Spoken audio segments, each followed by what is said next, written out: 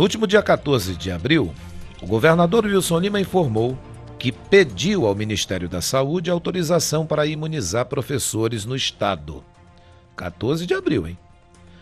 Mas até o momento nenhuma informação foi divulgada pelo governo sobre a inclusão dessa categoria no grupo prioritário de vacinação.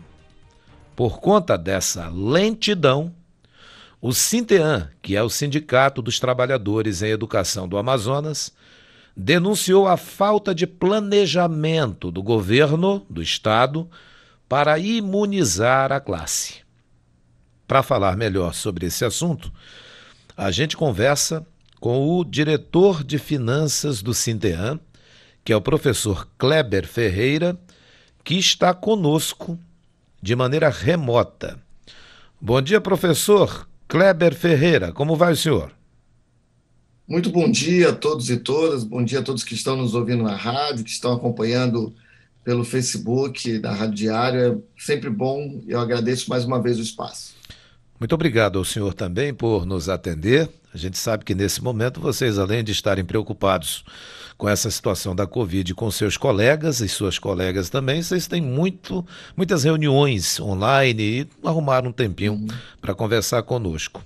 Bom, o governo informou ao Sintean até o momento algum posicionamento sobre o início da vacinação ou ainda não?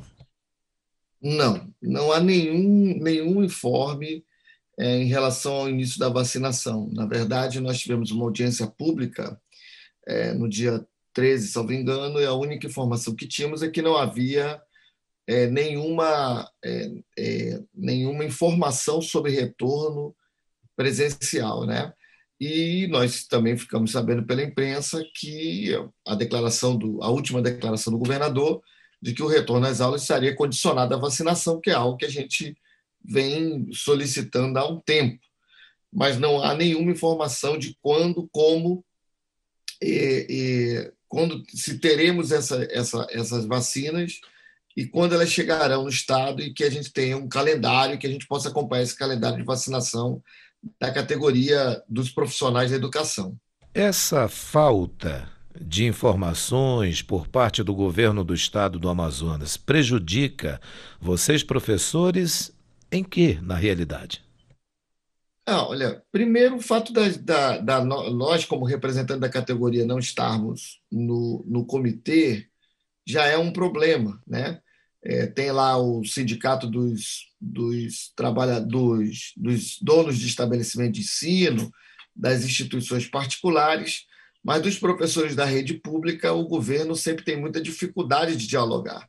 E, na verdade, nós estamos solicitando e, reivindicando desde o ano passado é, ações muito, é, não digo simples, mas muito óbvias quanto ao combate da pandemia. Né? As escolas não têm condições de receber o número de alunos, visto o que aconteceu da, da primeira para a segunda onda, que nós dizíamos, é, e que é, foi um dos motivos, né, segundo é, pesquisadores, a gente fez as lives, inclusive, os pesquisadores alertavam isso.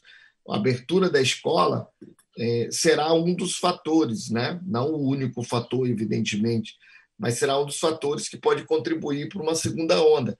E a abertura das escolas pode ser um fator que pode, contém, na verdade, eles afirmam categoricamente que iria contribuir para uma terceira onda. Por quê? Porque há uma circulação muito grande de pessoas, né? Então, não é só a estrutura da escola que é fechada, mas é circular profissionais desses alunos para a sua escola. Como é que a gente diminuiria isso? Com a vacinação. E esse diálogo com, com o governo é muito difícil. Né? A gente tem muita dificuldade desde o ano passado. A gente tem, na verdade, desde 2019, a gente tem muita dificuldade de dialogar com o governo. É, é, a gente, na verdade, tivemos uma reunião. O CETEN teve uma reunião com o governador Wilson Lima é, depois de 42 dias de greve. E esse ano nenhuma, nem no ano passado. E agora tivemos uma audiência com a presença do secretário de Educação que nos informou isso, que não tem previsão de retorno, mas também não, teve, não teve outra medida efetiva é, em relação à vacinação dos profissionais de educação. E quando eu digo profissionais, é, não são só os professores, né?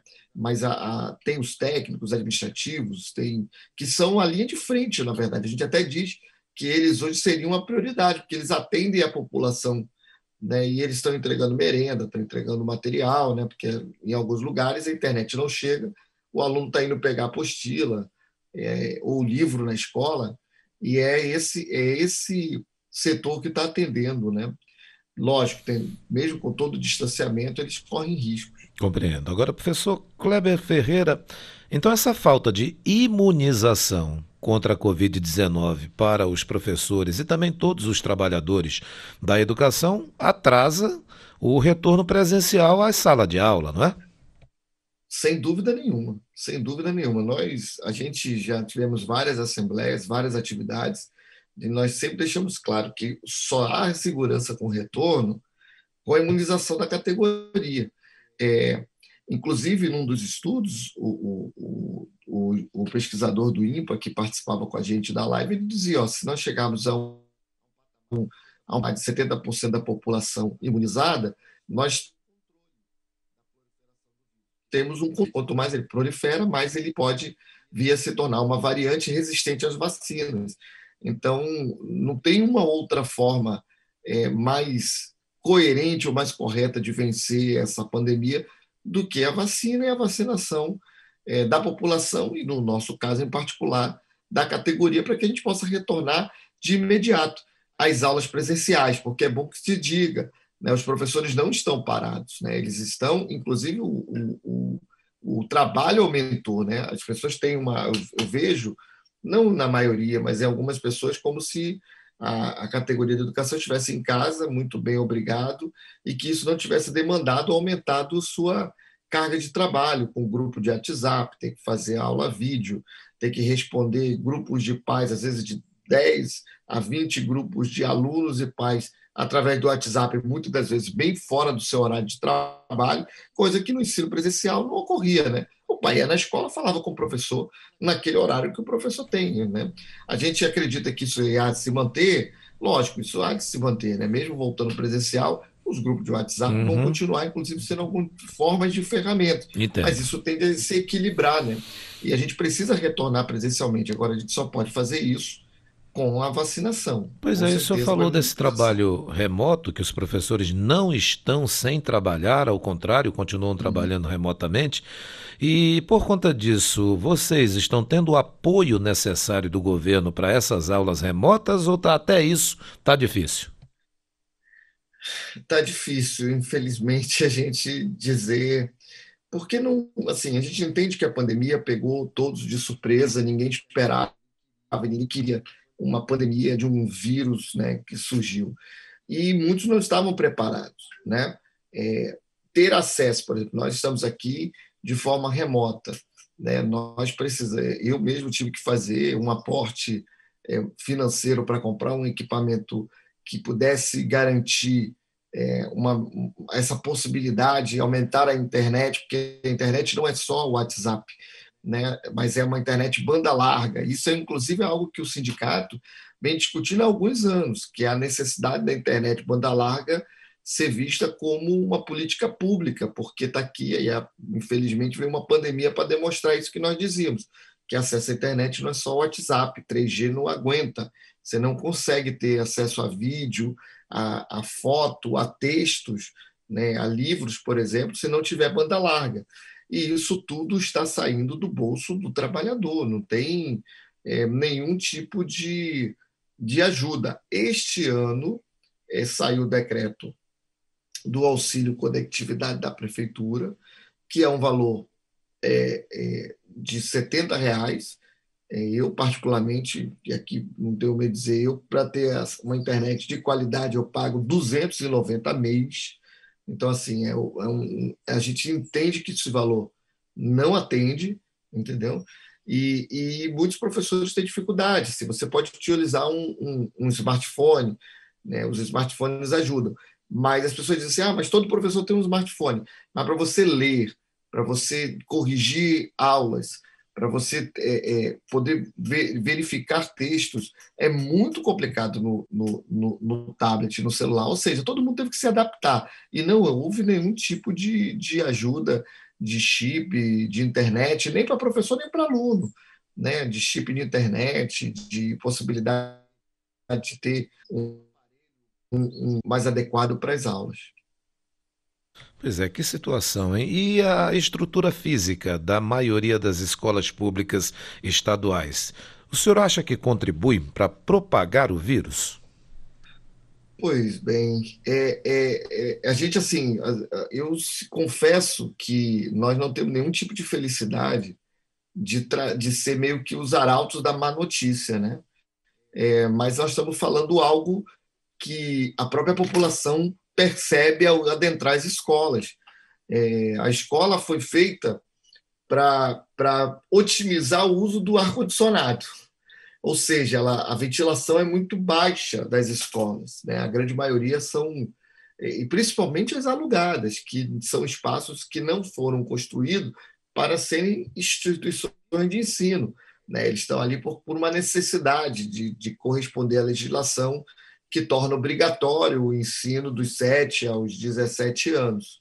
Então, é, precisa ter vaga para esse público e precisa ter atendimento a esse público. Então, muitas das vezes, tem prédios que são alugados né, e esses prédios não têm condições alguma de, de, de atender o aluno. E mesmo dos prédios não alugados, as escolas não foram construídas para evitar, por exemplo, a proliferação de uma, de uma, de uma doença de com essa carga viral tão alta quanto é o Covid-19, né, que é o coronavírus. Então, assim, hoje a estrutura das escolas não ajuda em nada a não proliferação. A, a Fundação de Vigilância Sanitária criou um protocolo junto com o comitê né, de álcool gel, distanciamento, número de alunos por, por, por espaço, é, atendendo metade ou metade, mas essa realidade, que é o que as escolas particulares estão reivindicando, alegando que tem condições de atender, nós temos muita preocupação. O sindicato, o CNTEAN, não, não atua no, no ensino privado, é, nós somos sim, o Sindicato dos Trabalhadores da Educação no ensino público, mas nós podemos dizer, sem medo de errar, que nem as escolas públicas, nem as privadas têm condições de evitar algum tipo de exploração do vírus. Compreendo. Nós estamos, é, a abertura sempre é algo que a gente a gente meio que coloca nas mãos de Deus e diz: é. espero que não ocorra, mas no ano passado nós dizíamos isso. A abertura é, acaba contribuindo para uma nova onda.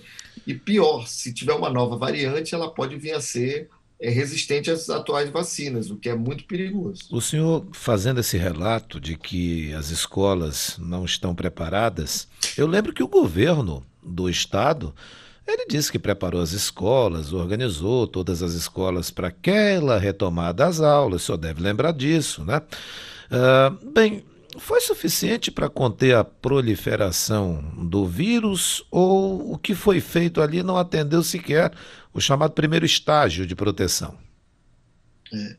Infelizmente, a prática é o critério, a prática é o critério da verdade, né?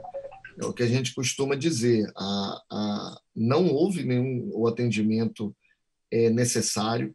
Muitas escolas não tinham água, não tinham álcool gel. É, foi feito um esforço, uma tentativa de abrir, mas é como eu falei, as estruturas das escolas não foram feitas para evitar essa proliferação. Então, assim, são medidas paliativas perigosas.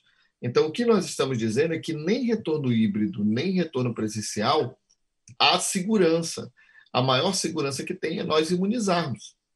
Essa é a maior segurança, né? Imunizar a população de forma mais rápida possível. Eu lembrei também agora daquelas máscaras que o governo do estado distribuiu, que mais pareciam capacetes, elas na realidade viraram motivo de piada.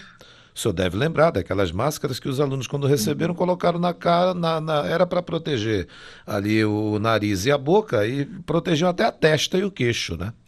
Então pareciam e... situações assim que lamentavelmente demonstram o que esse governo vem fazendo ao longo dessa administração. E isso traz um, uma questão é, importante, na verdade. É, as pessoas dizem assim: ah, não faltou dinheiro. O problema é, você pode até ter recurso, mas se ele for mal empregado, nós perdemos muito tempo com medidas que, evidentemente, eram ineficazes ao, ao controle, ao combate à, à, à pandemia. É, quando dos protocolos necessários, e, e, foi muito dinheiro gasto, né? Isso precisa ser, inclusive, futuramente investigado, verificado, porque é aquilo, não adianta você ter recurso e usar mal o recurso. Você vai dizer depois, ah, nós tivemos é, é, milhões, bilhões utilizados na saúde, ou eu entreguei isso à população, quando na verdade não teve ação efetiva. Né? As máscaras é um, exemplo clássico disso. Né? É, não gerou renda aqui, porque não foi feito aqui, tudo bem, até entende que a gente percebe que nesse, nesses mecanismos, muitas das vezes, como o Estado ele procura o preço menor, às vezes é mais barato fora do Estado do que dentro do Estado, mesmo não gerando riqueza ou emprego no Estado, mas a, a, a qualidade das máscaras não protegia, o tamanho das máscaras foi um motivo de piada nacional, uma coisa assim, realmente, e as medidas que foram tomadas, nós a gente, como representante da categoria, dizendo, olha, isso não isso não vai resolver, não vai contribuir, vai colocar a categoria em risco e, e a gente vai é, faz, é, é, fortalecer a possibilidade de uma segunda onda. E, infelizmente, a gente nem não tem felicidade alguma de dizer que nós estávamos certos naquele momento, porque a segunda onda foi muito dura para a nossa categoria de, dos profissionais de educação. Ela atingiu em cheio, nós tivemos 20 mortos oficialmente em 2020, em janeiro, aliás, de janeiro a abril, nós temos 150 mortos na, na educação. E, diga-se de passagem, não é um número oficial da SEDUC. Né? Eles não têm essa informação, não passaram essa informação. A gente resolveu fazer no, na conta. Né? Nós estamos acompanhando é, os, os, as, as informações, recebendo informações dos familiares, né? para ter um cuidado de verificar se as pessoas estão falecendo por Covid ou não, porque uma das coisas dizendo que, infelizmente, a, a, contribui né, para a desinformação é dizer assim: ah, não, a pessoa hoje morre de qualquer coisa diz que é Covid. Não é verdade. Não é verdade. Quem morre por complicações de Covid, é, a, a, a saúde tem isso muito claro. A pessoa faz o teste, é, o teste verifica que teve Covid ou que está com Covid, e isso cria uma série de dificuldades é, no, no, trato né, dessa, dessa, dessa infecção, dessa, dessa, desse, desse, vírus, e a pessoa acaba vindo a óbito. Então, nós então... temos controlado isso, nós estamos com 150, 117 só em Manaus.